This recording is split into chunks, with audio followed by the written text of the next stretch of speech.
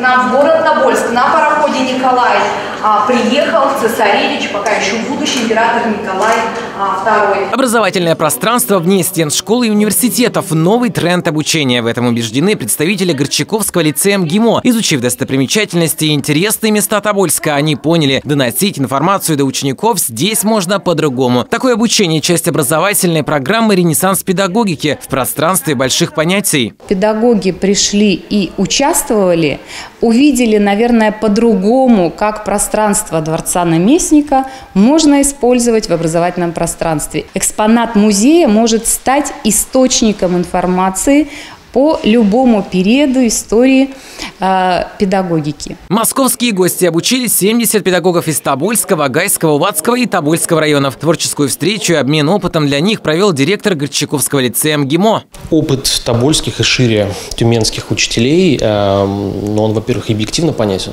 потому что Тюменская область – это область, которая э, рождает победителей, э, я имею в виду детей, победителей Олимпиад, детей, имеющих высокобальные результаты детей, которые успешны потом в своем жизненном плане. Илья Сергеевич сегодня по-новому показал, как можно выстроить управленческий процесс. Это для меня, как для управленца, был интересен подход к организации вообще в целом образовательного процесса, тоже того же кураторства, классного руководства, как у них закреплено. Встреча прошла в Центре непрерывного повышения профессионального мастерства. Здесь преподаватели определяют точки роста и выстраивают индивидуальные образовательные маршруты. Центр сотрудничает и с компанией «Сибур». Коллеги нам говорят, что у нас есть определенное госзадание, нам нужно отучить вот столько-то учителей, повысить квалификацию.